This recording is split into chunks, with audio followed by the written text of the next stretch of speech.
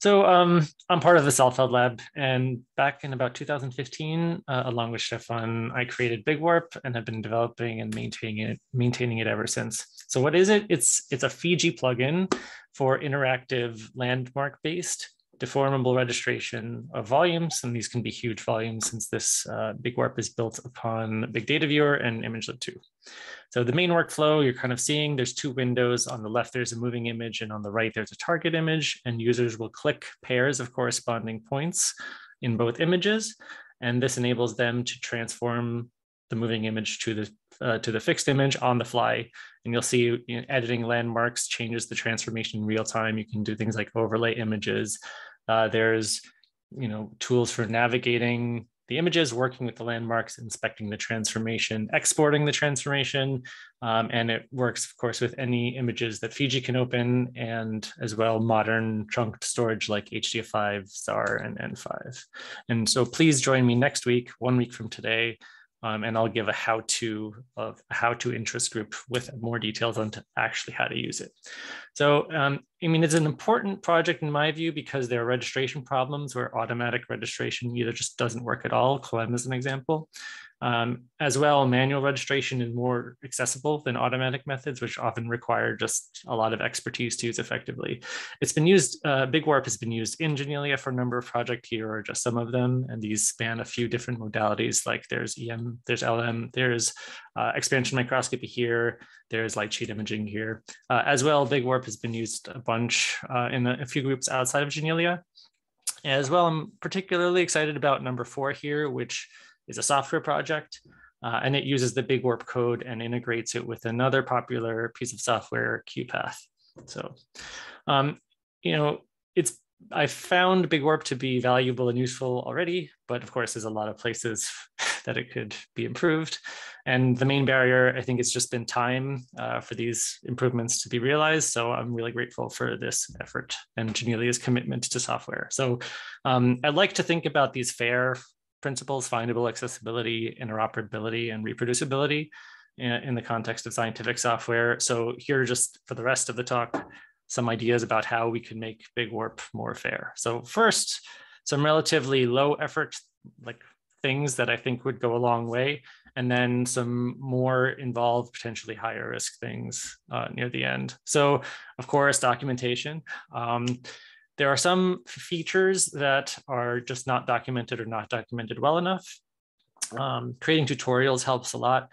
Um, I've done a bunch of work, uh, but mostly on the most common workflows.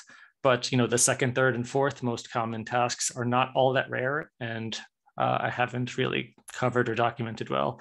Um, and as well, I think fleshing out documentation for developers um, is valuable in making the community of developers um, wider and getting more contributions from that community would, would help a lot in my view. So uh, related to accessibility uh, and findability, you know, often, especially with the in Janelia projects, people will ask for a particular feature or a particular kind of analysis. And it's quick to just write a quick Fiji script, but it's a lot less quick to integrate that useful feature into the main UI. So here, for example, there's two two pieces of functionality that I've written already, but are scripts and are difficult to run and are also difficult to find because they're not in the UI, right? So integrating this kind of stuff into the UI would make things, I mean, one, easier to find for people, and two, more accessible.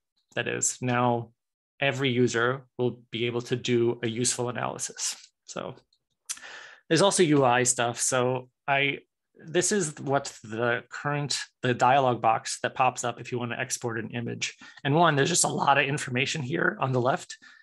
And one i made it i made it i tried very hard that if you just press ok on this dialog it will do the right thing like for 95 90 to 95 percent of people. But it's also pretty intimidating and i don't like the fact that a new user has to look at all of this stuff just to export an image.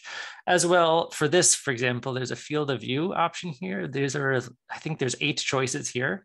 Um, many of them are described on the wiki page. Not all of them are described on the wiki page. And for example, when I made the screenshot yesterday, I forgot why there's these two, for example. So if I don't know what these do, no one can know what they do. So making the UI, I think, more intuitive and describing the parts of it better would go a long way to making the tool more usable. So interoperability is key too. I think this is maybe part of where Big Warp is the weakest now. So um, specifically, Big Warp has to control all of the transformations that it does now. And it would be wonderful if it could import and export transformations from other tools like vanilla Big Data Viewer and TrakEM2, for example, which are in our ecosystem. That is, our lab contributes to these two tools, and yet they don't interact well. Um, but even more, like that would be an even stronger impact would be tools that are outside of the ecosystem, like elastix uh, which is a popular automatic registration uh, algorithm. And to be able to import and export displacement fields, actually Big Warp already can export displacement fields, but um, to be able to adopt common standards um, would be very valuable in reducing a lot of the friction that happens when you as a software developer have to data munge in order to get information from one piece of software to another, which is very difficult at the moment in the registration world.